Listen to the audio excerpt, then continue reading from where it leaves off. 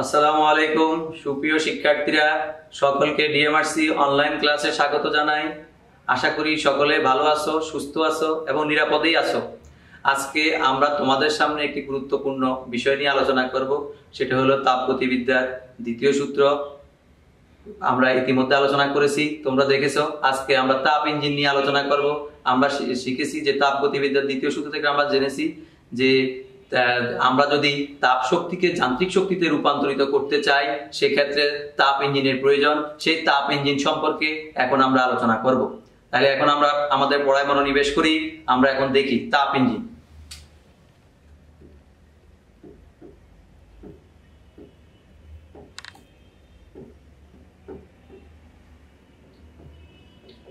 আমাদেরকে প্রথমে জানতে হবে যে তাপ ইঞ্জিন কাকে বলে? যে যন্ত্র যে যন্ত্র তাপ শক্তিকে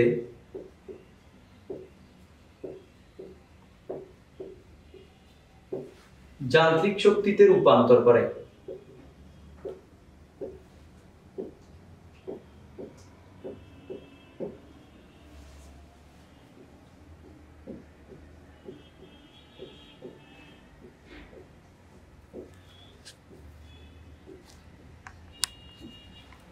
তাকে তাপ ইঞ্জিন বলে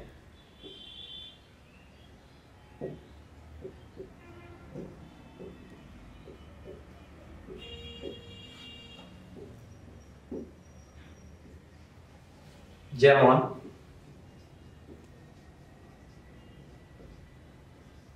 ডিজেল ইঞ্জিন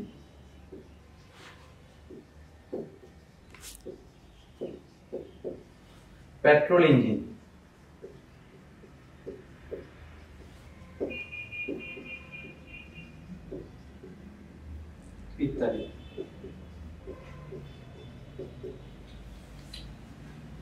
তাহলে আমরা দেখতে পাই যে যে যন্ত্র তাপ শক্তিকে যান্ত্রিক শক্তিতে রূপান্তর করে তাকে তাপ ইঞ্জিন বলে।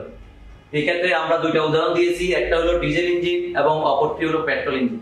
ডিজেল ইঞ্জিনের কার্যনির্বাহক বস্তু হিসেবে ডিজেল ব্যবহার করা হয়, পেট্রোল ইঞ্জিনের কার্যনির্বাহক বস্তু হিসেবে পেট্রোল ব্যবহার করা হয়। এখন আমরা তোমাদেরকে দেখাবো যে তাপ ইঞ্জিন কীভাবে কাজ করে। আমরা জানি কোন ইঞ্জিন যখন দেখা গেল কি যে পরিবেশ থেকে তাপ শোষণ করল, শোষণ করার পরে গৃহীত তাপের কিছু অংশ সে কাজে রূপান্তর করে বাকি তাপ সে পরিবেশে বিলিয়ে দেয়।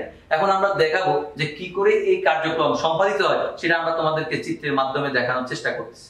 এখন আমরা একটা তাপ ইঞ্জিন একে দেখানোর চেষ্টা করতেছি।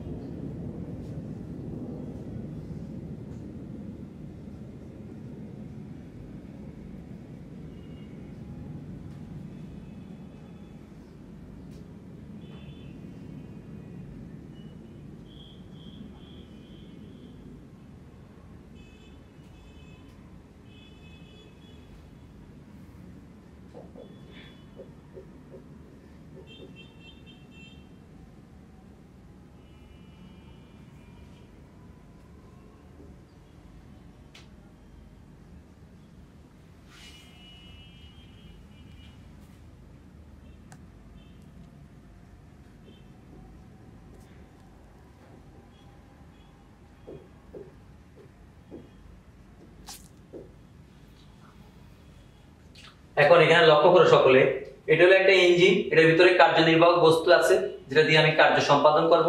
এটা হলো তাপ উৎস, যার তাপের পরিমাণ হলো কিউ ওয়ান আর তাপমাত্রা হলো টি ওয়ান এটা হলো একটা তাপ গ্রাহক, যার তাপ হলো কিউ টু আর তাপমাত্রা হলো টি টু এখন আমার এই কার্যনির্বাহক বস্তু তাপ উৎস থেকে তাপ গ্রহণ করবে। সে কিউ ওয়ান তাপ গ্রহণ করবে। কিউ ওয়ান তাপ গ্রহণ করে এই কিছু পরিমাণ তাপকে সে তাপ গ্রাহকে বর্জন করবে এবং বাকি তাপ দিয়ে সে কাজ সম্পাদন করবে। তা আমরা দেখলাম যে কিউ ওয়ান তাপ গ্রহণ করছে কিউ টু থেকে তাপ বর্জন করছে। তাহলে সে কাজ করছে কতটুকু? যে ডাব্লিউ ইজিক্যাল টু হলো Q one minus Q two অর্থাৎ এই পরিমাণ কার্য সে সম্পাদন করেছে।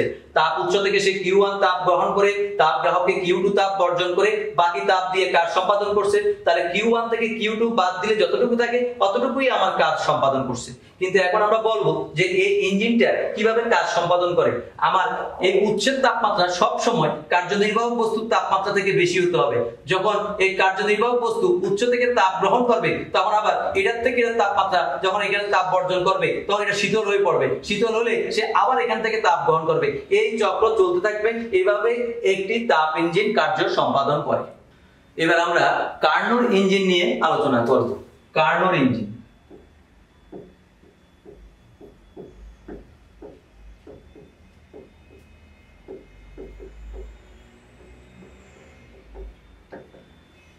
তাপ শক্তিকে যান্ত্রিক শক্তিতে রূপান্তর করার জন্য বিজ্ঞানী সাদি কার্নো সকল দোষ ত্রুটি মুক্ত একটি ইঞ্জিন কল্পনা করেন, যাকে কার্নোর ইঞ্জিন বলা হয়। কিন্তু বাস্তবে তিনি এই ইঞ্জিনের রূপ দিতে পারেন নাই, কারণ বাস্তবে যত ইঞ্জিন পাওয়া যায় তাদের কর্মদক্ষতা সর্বোচ্চ পঁচিশ পার্সেন্ট হতে পারে। কিন্তু তিনি একটি ইঞ্জিন কল্পনা করেছিলেন যে ইঞ্জিন, দেখা গেল কি যে যে সম্পূর্ণ দোষ ত্রুটি মুক্ত যে কাজ সম্পাদন করবে, সেটা এখন আমরা তোমাদেরকে দেখাতে চাই। এবং সেই ক্ষেত্রে ওই ইঞ্জিনের মধ্যে কি কি অংশ ছিল, সে সম্পর্কে আমরা আলোচনা করতে চাই। এই ইঞ্জিনের ক্ষেত্রে চারটা জিনিস ছিল। এক নম্বরে ছিল হলো সিলিন্ডার।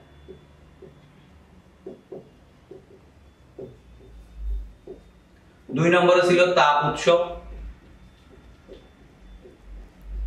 তিন নম্বরে ছিল তাপ গ্রাহক।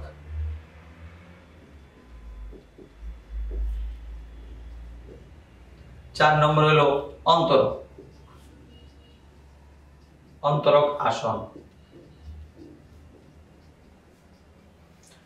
এখন আমরা তোমাদেরকে দেখাবো প্রত্যেকটা জিনিসের চিত্র এঁকে তোমাদেরকে এটা বোঝানোর চেষ্টা করব। প্রথমে আমরা সিলিন্ডার নিয়ে আলোচনা করি। সিলিন্ডার দেখাচ্ছি।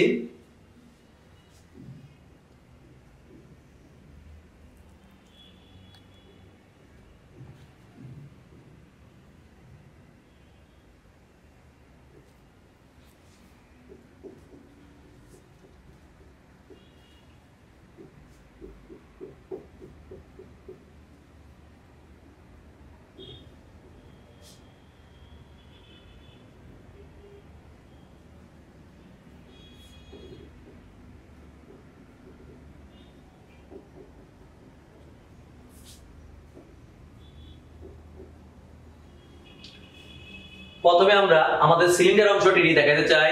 এই সিলিন্ডারের দেয়াল হলো তাপ অন্তরক পদার্থের তৈরি, অর্থাৎ যার মধ্যে তাপের কোনো আদান প্রদান হয় না। কিন্তু তলদেশটা হলো সম্পূর্ণ তাপ সুপরিবাহী পদার্থের তৈরি।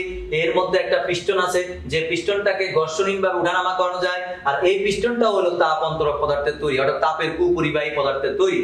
এখন আমরা এই পিস্টন সম্পর্কে জানলাম। এবার আমরা জানব তাপ উৎস। তাপ উৎস সম্পর্কে ধারণা পেতে চাই।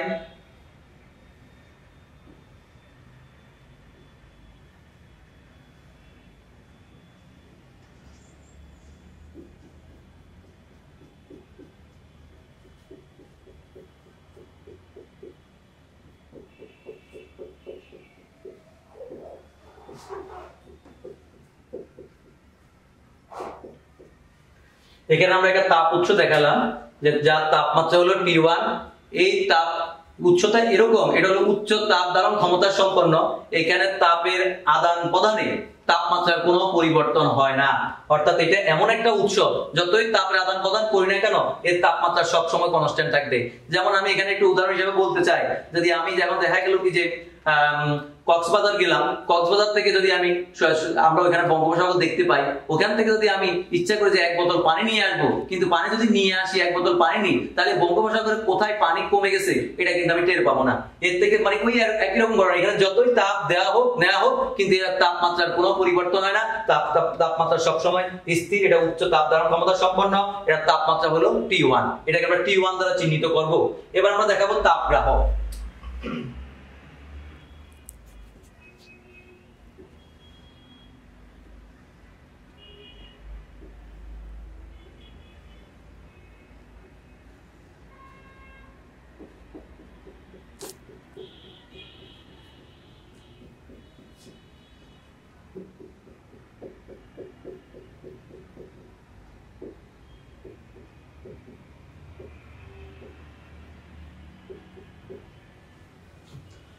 আমরা একটা তাপ গ্রাহক দেখালাম। এটাও এরকম। এখানে যতই তাপ বর্জন করুক, এর তাপমাত্রার কোনো পরিবর্তন হবে না। তাপ গ্রাহকের তাপমাত্রা সব সময় টি টু এটা হলো একটা স্থির মান। এটার তাপমাত্রার কোনো পরিবর্তন হবে না। এটা যতই কার্যক্রম সময় এখান থেকে যতই তাপ বর্জন করুক, কিন্তু এটার তাপমাত্রা সব সময় স্থির থাকবে। এটা হলো টি টু এবার আমরা দেখাবো তাপ অন্তরক আসন।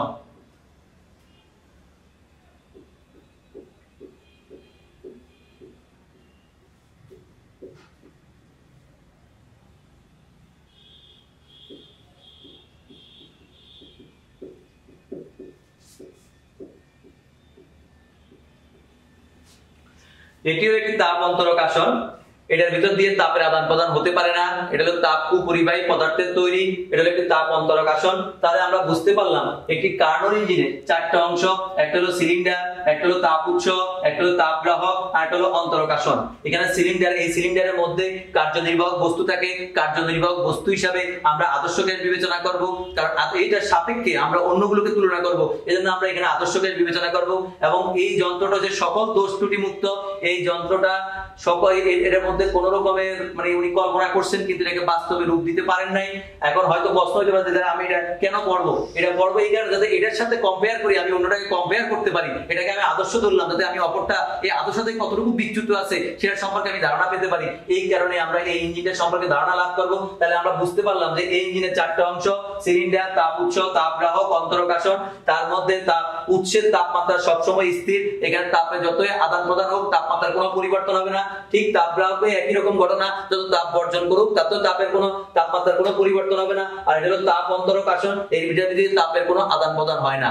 ধন্যবাদ সবাইকে। আজকের ক্লাস এই পর্যন্তই। আগামী ক্লাস দেখার আমন্ত্রণ রইল। সেই পর্যন্ত সবাই সুস্থ থেকো, ভালো থেকো, নিরাপদ থেকো।